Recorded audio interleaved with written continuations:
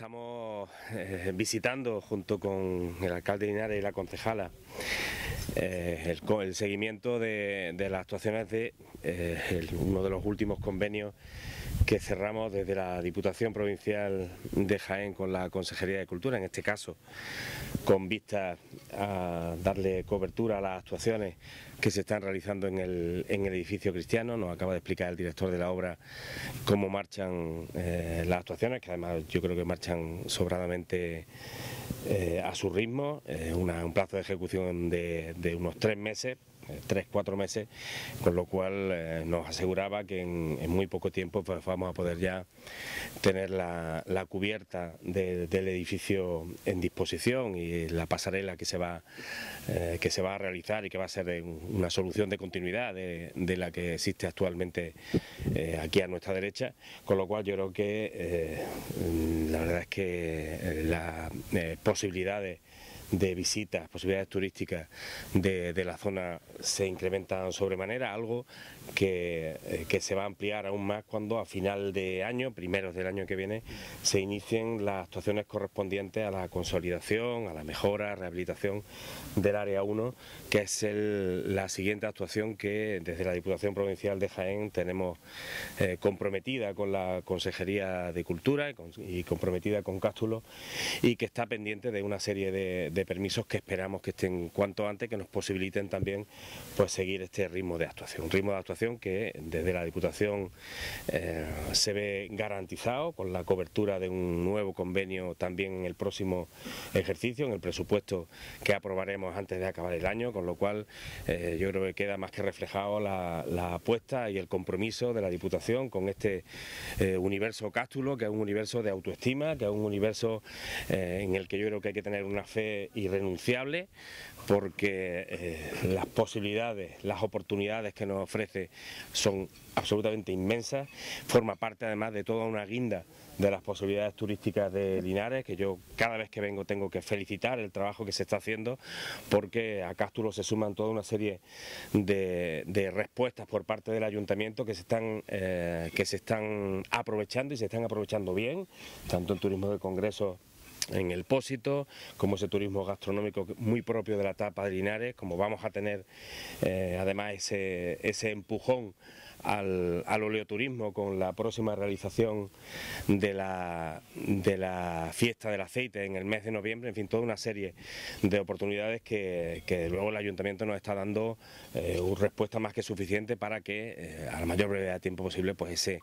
ese incremento del número de visitantes, del número de turistas, tanto para, para Linares como para toda la provincia de Jaén, con, teniendo como, como telón de fondo la ciudad de Linares, pues yo creo que sea absolutamente una realidad. En cuanto a lo que estamos viendo hoy, yo creo que tanto el alcalde como yo, yo creo que hemos mostrado nuestra satisfacción al director de, al director de la obra, se van viendo, se va viendo ese empujón que necesita Cástulo siempre, aquí eh, como decía antes, las oportunidades que se nos abren son absolutamente inmensas y nuestra obligación desde luego es aprovecharlas y aprovecharlas además lo más rápidamente posible, que no solamente haya una apuesta presupuestaria, sino una apuesta de gestión que haga posible que cuanto antes toda esa eh, playa de gente que está esperando, que es lo nuevo que nos ofrece Cástulo, pues vaya teniendo una respuesta adecuada a lo que ellos quieren y a lo que además el turismo de la provincia de Jaén puede ofrecerle. Efectivamente se están ejecutando el proyecto que financia afortunadamente la Diputación de, Jaén, con esa coordinación que tiene que mantener, como es natural, con el titular, con la Junta de Andalucía, para la intervención en este año, que va a ser definitiva en el edificio cristiano que tenemos detrás, con la la instalación de la cubierta y dándole continuidad, como decía Manuel, perfectamente a todo este conjunto que es del, mosaico de los amores. Y continuidad con los otros mosaicos que hay posteriormente en la, trasera hacia el sur. Eh, también, si no a finales de este año, a principios del 17, del 18, comenzará también el proyecto de la, en el área 1, la puerta de Trajano, la zona de la judería, donde habrá un conjunto también, una superficie importante que dará eh, de alguna manera perspectiva de las distintas civilizaciones y de las distintas culturas que pasaron por, aquí, por Cástulo. Por lo tanto, mostramos nuestra satisfacción con estos proyectos que se han retomado, que se, están, se han activado y que, como repito, eh, gracias a la financiación de la Diputación Provincial, que está dando lugar a que estemos completando, sobre todo para proteger de las inclemencias del tiempo, el edificio cristiano con una visión histórica de conjunto también en, lo que es este, el edificio donde está el mosaico de los, amores y con, con esa conjunción, como digo, de los elementos y sobre todo para que lo que se haga tenga una continuidad y estéticamente este,